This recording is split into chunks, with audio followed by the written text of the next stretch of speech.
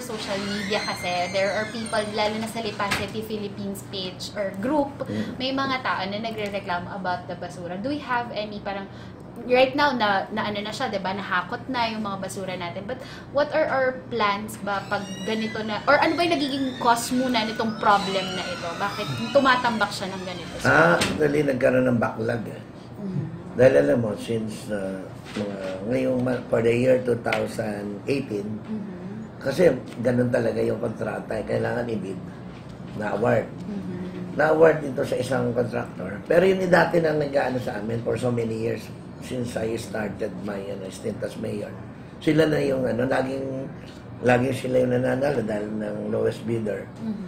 So, nakuha nila naman ang contract. Kaya lang, ah, ordinarily, lahat ng contract should be, uh, alam ko, bago kayo, before you enter into contract, lagi nang nangyayari yung the mayor should ask an authority from Sanggunian. And uh, once the the Sangguniang Panlunsod issue an authority to the mayor to enter into contract, uh, there is a kulatilla that it should be ratified by the Sanggunian. Okay. So since then, pagdating ng ano, siyempre, bago ka naman makasingil, siyempre hindi ka mababayadan Mhm. kung hindi naman uh, kompleto ang documents like the uh, including the award and of course the contract. Mhm. Because the, the contract yun ang umpisa ng pagbabayad. Okay. Pinadala namin sa Sanggunian for ratification yung contract. Nung malaman nung contractor na hindi na rati, na, din, na hindi na ratify yung contract, but ang dami ng taon, six months na sila hindi nabayadan, siyempre, armas nila yan, di ba? In any other siguro, kahit ako contractor, eh, medyo gugulatin ko naman yung kumontrata sa akin para, para ano, para magbayad. Ah, kailangan. Eh, nung malaman nilang dininay ng sanggunian, huminto sila. So, nagkaroon ng backlog Okay. na, na tumambak yung ano. Ang akin lang namang masasabi to, eh, alam mo, it's not the, uh, it's not only because na kailangan nilang maghakutin. Ang akin lang, kailangan ko ng cooperation ng mga taong bayan. Okay. Kasi alam mo, nung malaman nilang hindi nga nagakot, ang ginawa nila, ay tinambak nila sa kalsada. Di ba? Which should not be the case. Kasi uh, pinapa, ano nila eh, akalaan mo ba, muntik pa ako nagkasakit dahil nang maghapon ako na nagpunta doon at I see to it na nahakot lahat yung mga basura. Ay may uod na, ang baho talagang ano, hindi ko kinaya siguro. Mabuti nakapasok ako ngayon. Di ba? Hanggang kagabi, kanina, ah 9 o'clock na ako nakapasok kasi pagdating ng umaga, pagising ko, nilalagnat ako. Tapos ay uh, ginawa ng paraan ng mabuti, may doktora akong anak. Doktora may nandun. Saka si Mayora, gina, ginawa nila ng paraan na maging maayos ako. Ah, pumasok ako ngayon. Dahil nang sa nangyari nito.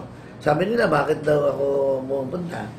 Para ano, ma, ay, gusto ko lang makasigurado na itong mga basurang ito yung mga alis. Hindi yun sa for publicity, whatever. Hindi yung sabihin niya ako makasigurado na ah, nakita kong ano, natatanggal talaga basura. Pero alam mo ba, doon sa in-interview ko ng mga tao, yung tapat ng bahay, sabi niya, Mayor, nakikipag-away po kami sa mga nagtatapon ng basura.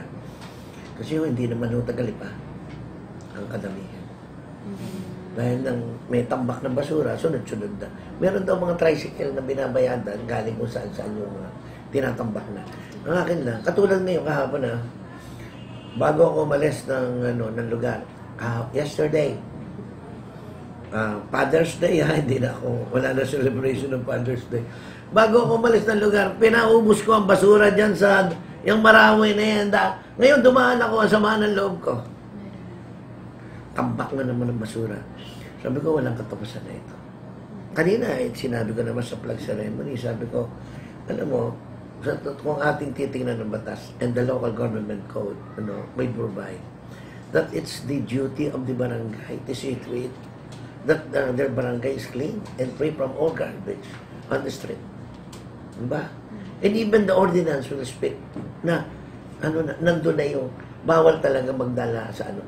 That is uh, ano, a patent violation of the local ordinance. Di ba? Nakakasakit na lagi na ang mayor ang sisisihin. Pero hindi, ano kasalanan ko? Di ba? Hawak ko ba yung libo-libong pamilya rito? Libo-libong bahay dito? Na pagsabay-sabay silang naglabas? ng ano na hindi na kayang ano. Kaya nga ako'y, alam mo ba, ang naghakot, ah, hindi na yung kontraktor. Hindi nila kaya eh.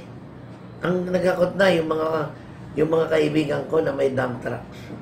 Katulad ni Belen Olap, para Belen and uh, Celso Olap. Yun yung taga dito sa atin, Antipolo del Norte, tumulong. Si Evie Mendoza, yung mag-asamang boy, meron silang malaking truck, tumulong. Di ba? But do we have any parang long-term plan on how we could make a solution para doon sa... Alam mo, ah, actually, ano, since I started ano, my stint as mayor, Mm. I have a development plan for this. And this is already approved by the GNR, the 10-year development plan. But, uh, you know, due to so many hindrance like uh, impediments, like the acceptance of the people, katulad nun, sana lalagay namin sa Celestino, nag-object yung mga taong bayan kasi nga nandun ilalagay yung, ano, yung landfill and uh, waste management, dinala sa Malitlit. Nag-object na naman ang taong bayan, ayaw na naman. So, ngayon nasa San Francisco. Doon, ay hopefully this time, ano na, may isang katuparan ko na. So we're, we're planning to make a landfill, sir. Ma- Oo. materials recovery facility, landfill, anong tawag? Ah, hindi yun, hindi, ang MRF kasi maliit lang yun. Okay. Yan yung sa barangay level yung MRF. Actually, may MRF tayo eh for, let's say, uh, out of uh, 72 barangay, mga 35. But uh, yun yung segregation yun. Yung sinesegregate yung mga nabubulok, hindi nabubulok, at saka yung recyclable. Pero ano yan eh, that's only, uh, maliliit yan for barangay level.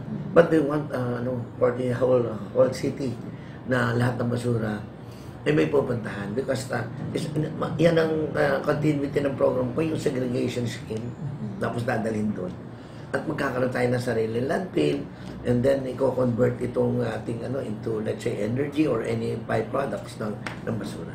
Yun ang gusto kong mangyari. But there's an assurance naman to the public na hindi masasalaula yung place. Ay, hindi. Actually, kung makikita nila ang technology, ito is more, of course, it is a matter of transfer of technology from other place, ano? Yes. at uh, proven ito. Ah, siguro ma ano lang as a matter of or orienting them na ito hindi magiging mabaho it will be ano uh, ang sabihin niya uh, yung hygiene sanitation and everything uh, it will not pollute the environment it will, it will not uh, cause any no danger to the people you know I have to protect the interest and the welfare of the people the health of course number one Sir, do we think it's about time na strongly i-implement na natin yung segregation policy sa... Sadya namang ni-implement dito. Kaya lang, syempre, since nawala tayo sa sariling landfill, uh, eh, mahirap po yun. Ah, kasi, ah, it should be, ano eh, it, it complement, it's complement each other. Yung, yung, yung sistema kailangan ma-complement because nga yung segregation, alam mo na. Kasi, paano mo i-segregate, eh, binabayad mo sa hauler. Okay. Di ba? Kung so ikay parang masarili, sasama-sama din sila ay eventually. kasi pa paano, hindi sila yung mag-ano, sila yung maki, sila ang gagawa ng ano. How can you expect this, these people, yung hauler, ay yung segregate, segregate mo ay ma continuously magagawa nila ng paraan to, to what you want to do. O yung talagang mag, Okay. you want to want to, what do you want to happen with regards to the garbage, So, ba? so Mayor, paano po yung habang ngayon po na wala pa po yung contract? Ano na po yung plano natin na ano? Habang hindi pa ina-approve Palagay ko tomorrow naman is may pasok, di ba? Tuesday. Mm-hmm. I hope the, uh, the sanggunian, no? May mga chismis na ganito. Humingi daw. Pero, uh, alam mo, that is beside the point. Eh. Ang gusto ko, uh, alam mo, kailangan, sabi ko nga, as I've been telling them and reiterating to our, to all the people here, di ba? Yung kung anong mayor ay inelect. Nagkaroon ng election uh, public officers. Hindi lang naman mayor ang inelect. It's not only the mayor who has the responsibility. Ano ito, collective effort dapat. Hindi lang mayor dahil ng katulad nga ng ano, katulad ng nangyayari. Yung uh, example natin, ang even the president, without the cooperation of the legislative branch, the Senate and the Congress, will have no budget. Di ba? And anything kung kumontra nagkontrahan, hindi makakilos ang press. That is the same in in in the in the city of Lipa. Dahil nang ang budget namin galing sa uh, approval of the Sangguniang Panlunsod. The contract should be approved by the Sangguniang Panlunsod. The authority should be approved by the Sangguniang Panlunsod.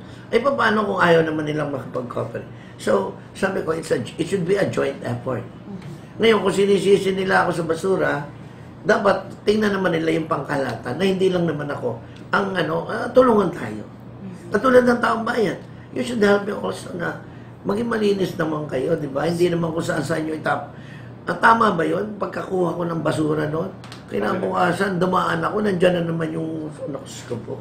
Mayor, Parang ano, sumasama, sumisikip dibdib ko eh. Oh. Sabi ko, ganito na ba ang yung pinaglalaban ko ng mga tao? Worthy ba na maging ipaglaban ko sila? Samantalang habang ako ay nakikipaglaban, lahat na ibinigay ko na sa ang ang lahat na, kung titingnan mo, ibinigay ko na. Pagkatapos sa paglaban ko, ang mga tao ayaw namang makipag-cooperate. Cooperate. Sumasama ang loob ko. Mayor, Wala kasama regarding po doon sa sanitary landfill dito sa Francisco, ah, may ilang hektarya kayo itong propose natin? Actually, yung binebenta nila is 17 hectares. Pero sa akin, 10, pwede na, 10 hectares. Is enough. Us. enough for them. Yun, If mangyari po yun, ano po, araw-araw na makakapaghakot? Or ano ba yung mangyari na po? Aba, eh, pag nandun, ang lapit. Eh, pero mo, alam mo ba kung saan namin dinadala? Meron kaming, ah, tawag dito, yung ah, pick-up point, na meron doon cargo truck, na mga bar- doon dinadala ng mga barangay, doon ikinatransfer, tapos dadalhin pa sa Laguna. Imagine how complicated. Double job yan, ang daming trabaho. From the, uh, ano ba yung nangyayari kung saan sabihin, it's a waste of money actually. Labor and matita and, uh, you know, of course, money. Kung bakit? Dapat i-systematize, systematize ang ano. Kaya from the, halimbawa, from the source, kung saan ang galing ang basura, mas maganda, diretso yun saan. Imagine, pupulutin ang basura, tapos i another manpower na naman labor para ilipat sa cargo. Tapos ay from there, ha, eh, ah, dadalhin pa ulit.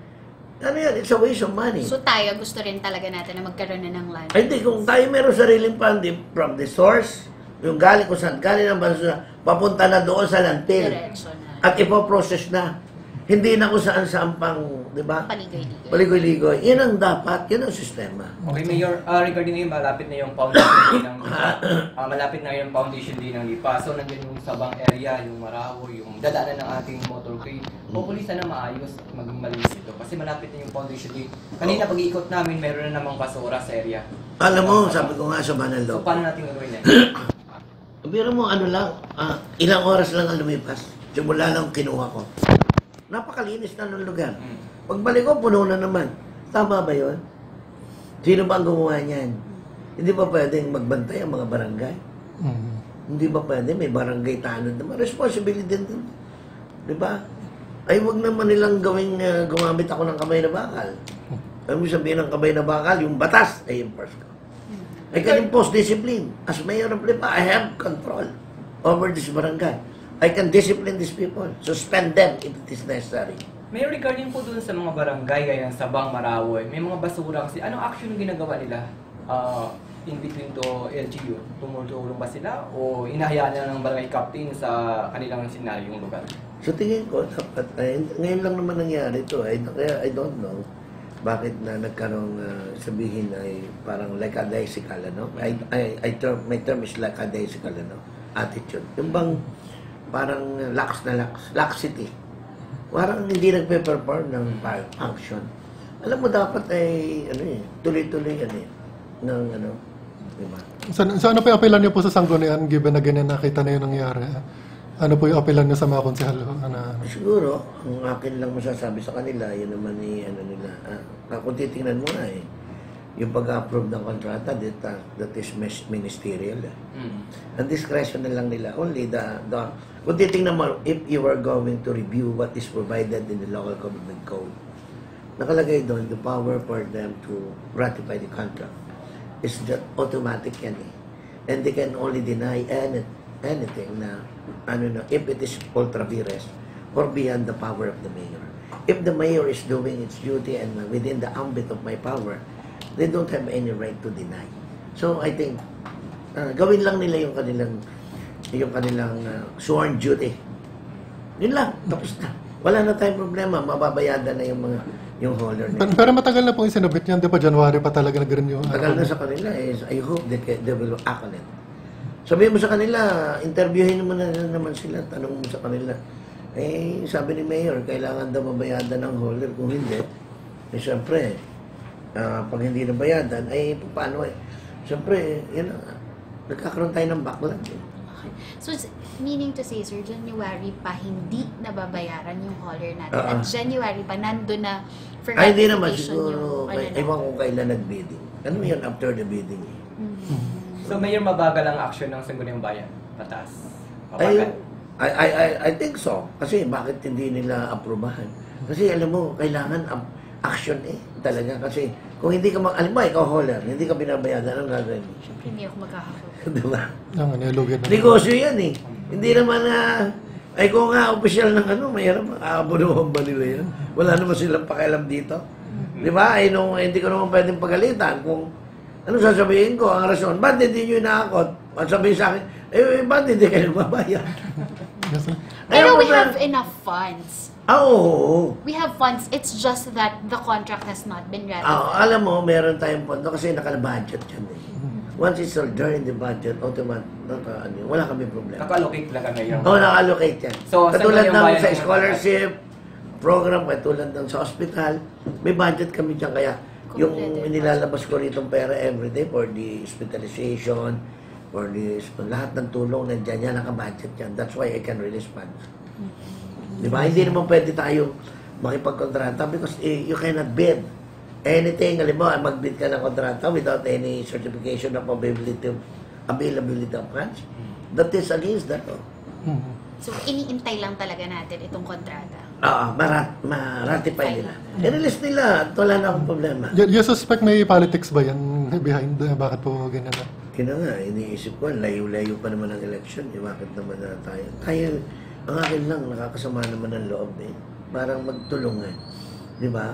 Hindi yung ah, gusto nila, sup- ah, ano, parang mga iniisip ko, ang gusto nila yung ah, mag, magdumi ang lipa, maging ah, tampulan ng, di ba, ilalabas nila sa social media na ang lipay madumi, na ganito, tapos ay, para bang, ay, tapos iniipit naman nila yung papel. Para bang sinasadya eh ipitin ang papel at nagdumi. Hindi ko alam kung sinong behind eh. Somewhere, uh, alam mo, ang mga yan, may mga ano din eh, behind ng mga big politician eh. Pero sana nagkakamali ako. Sana naman, huwag nang makialam ang mga politician dito. Di ba? Kaya ko, last term na eh. Oo eh. O, ano bang ikatatakot nila sa akin? Last term na ako. Di ba? Sige, pumunta kayo dito at ang, kayo naman ang mag-mayor at ang, tingnan natin kung anong gagawin ninyo.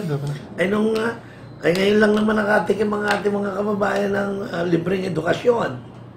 Libreng hospitalization. Ay hindi kayo nagtayo ka ng hospital pag sila, alam mo yung mga kalaban, sasabihin nila, wala daw kwenta yung hospital na lipo, samantalang yung mga tao, hindi bababa ng 300 tao ang nakikinabang, puntahan ninyo yun, makikita ninyo. Ay sasabihin nila, wala daw, wala daw doktor, wala gamot. Lahat negative ang sinasabi. Pero palagay ko, wala namang maniniwala. Sa tingin ko lang, aywan ko kung maniniwala sila sa paninira ng mga yan. Ay tapos sasabihin na, sisiraan nila sa katutak ang basura. Bakit ang mayor ba nagdumi? Sila ang sanhi. Kung sino man yun, bahala sila. Kung sino magre-react yun ang may kasalanan. Di ba? Sila yung sanhi, hindi mayor. Kasi hindi naman ako gumawa ng, parang ng, ng problema para hindi mabayadan ang tagahakot ng basura eh. Di ba? Ngayon, babanatan nila ako. Ano bang ginagawa ni Mayor? Para hindi dumagsa ang basura. Bakit? Ako lang ba? Ang Mayor, ay hindi hindi siya lang siya dapat ang magtrabaho. Ay, kung i-release nyo yung papel, hindi tapos na. Yun lang naman ang problema natin eh, mabayadan eh. Hindi yung Mayor. Dahil hindi Mayor lahat ang mag... ah, ang akin, release, implementation. Eh, pa, paano yung pondo? Kailangan aprobahan ninyo. Sige. Napakasimple lang. Exactly. May, may, may ano kung magkano utang daw, more or less. Uh, Ay, na, okay. Abay, six months eh. Kung, ah, let's say, mga 4 million per month, mga 24, more or less. 24. But we have funds para dito sa 24 million and the succeeding Ay boy, months 40, ah, ang, ang, ang, ang pondo namin is 40 million per year. per year. Sa Sobra basura. pa. Ha? Sobra pa. Ah. Di 40 million kami. Eh, ngayon, hindi ko may bayad. Hmm, kasi wala pa tayo. Kailangan na ano, authority natin para ano. Di ba? 24, malaki